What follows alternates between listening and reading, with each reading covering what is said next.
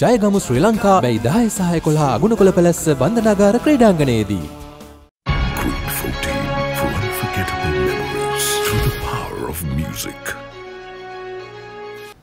ඊයේ දවසේ උසාවියේ හිටපු පාර්ලිමන් අන්ත්‍රතුමිය මේ හිටපු මම හිතන්නේ ස්ටේට් මිනිස්ටර් ඩයනා ගමගේ එයාගේ පත්වීම වැරදි කියලා එයාව ඉන්න පාර්ලිමේන්තුවේ ඉඳලා අයින් කරන්න කියලා ඊයේ උසාවියේ තීන්දුවක් ඇවිල්ලා තිනවා ඒක අපි සන්තෝෂ වෙනවා ඒක.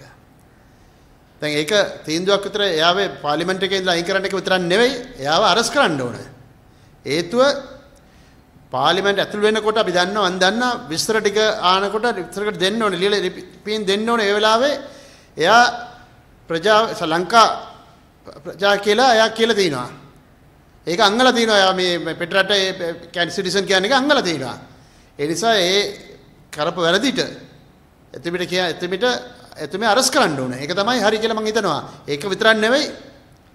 කියන්නේ පාර්ලිමේන්තු හිටපු කාලේ එයාට ලැබිච්ච පඩි ඒ වගේම එයාට ලේකම් වරුට පඩිච්ච පඩි ඒ වගේම අ, එයා ඇමති වෙලා ඉන්නකොට එයාට මේ වාහනවලට ගාපු තෙල් ටික ඒක විතරක් නෙවෙයි එයාට ඉම්මස්ට්‍රීලා අය දෙනෙක් විතර ඉඳලා තිනවා ඉම්මස්ට්‍රීලාගේ පඩි.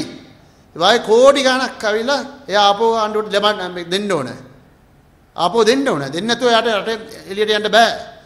ඒක හොඳයි. අපි සන්තෝෂ වෙනවා. අද උසාවියේ තීන්දුවක් ඇවිල්ලා තිනවා එයාට පිටරටට යන්න එපා කියන්න බෑ කියලා තීන්දුවක් ඇවිල්ලා තියෙන එක අපි සන්තෝෂ වෙනවා ඒක. ඒ වගේ එයා විතරක් නෙවෙයි. මන් දන්නවා 2004 ඉඳලා පාර්ලිමේන්තුවේ ඉඳලා තියෙන ඔය කට්ටිය. ඒගොල්ලන් ඔයලා බලන්න ඕන. ඔයලා බලලා ඒගොල්ලන්ටත් මේ විදිය පනිෂ්මන්ට් එකක් දුන්නා නම් තමයි ඉදිරියට මේ වගේ වැඩවල් වෙන්නේ නැහැ කියන එක මම මෙතන කැමති කියන්න කැමතියි.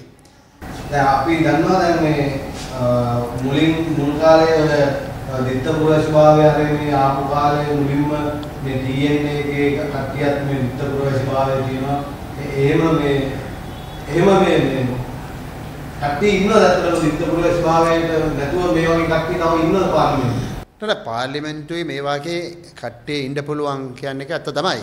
ඒ වුණාට ඒගොල්ලන් කවුද කියලා අපි හොයාගන්න එපාය. දැන් ඒක ඇවිල්ලා පාර්ලිමේන්තුවේ දැන් ඒගොල්ලන්ගේ උඩ මේ මොනාරි සැකයක් ඇවිල්ලා ඒගොල්ලන් මේ ලංකාවේ ප්‍රවේශ නැහැ කියලා සැකයක් තියලා ඒගොල්ලන්ට ඒ පාර්ලිමේන්තු එකේ අපි කම්ප්ලේන්ට් එකක් දැම්මනම් තමයි පාර්ලිමේන්තුවේ ඒක හොයන්න බලන්නේ. නැත්තම් හොයන්නේ නැහැ. ඒ නිසා කවුද කියලා ඔයලා බලලා අපි මේ දැන් මෙයාට නඩුවක් දාපු විදිහට නඩුවක් දාන්න ඕනේ. පාර්ලිමේන්තුවට ම- ඒගලන්ට ඒගලන් ඉතපු විදිහට ඒගලන්ට ඒක හොයන්න බෑ. එහෙම නීතියක් නෑ ඒක. නෑ මොතන මොතන හරි වැරද්දක් තියෙනවා කියලා හිතෙන්නේ නැද්ද? දැන් අ, මේ ඩයනා ඡන්දෙ ඉල්ලනවා. එතකොට එයා ඡන්දෙ ඉල්ලද්දි ආගම විවරණ කොමිසම දන්නවා මෙයා ලංකාවේ පුරවැසියන් නෙමෙයි කියලා අනිවාර්යයෙන්ම දැනගන්න ඕන. නැත්තම් මේක ඒක වෙන්න විදියක් නෑ. මොකද මෙයා පාර්ලිමේන්තුවට දැම්මම එයා ශ්‍රී ලංකන් සිටිසන් කියලා හරි කොහොම හරි දැන් මෙයාට කොහොමද කලින් પાස්පෝර්ට් දෙකක් දුන්නේ? කෙනෙක් දුන්නේ නැති ප්‍රශ්නෙත් එක්කනේ ඔබ ඇති වෙන්නේ. ඒක කොමිසම මේ දුන්නේ නැහැ මේ යාර දෙන්න බෑ කියලා. ඊට පස්සේ මේ ප්‍රශ්නේ තුන එතකොට දෙකක් දීලා තිනවා. එතකොට ඒගොල්ලෝ දුන්නේ කොහොමද?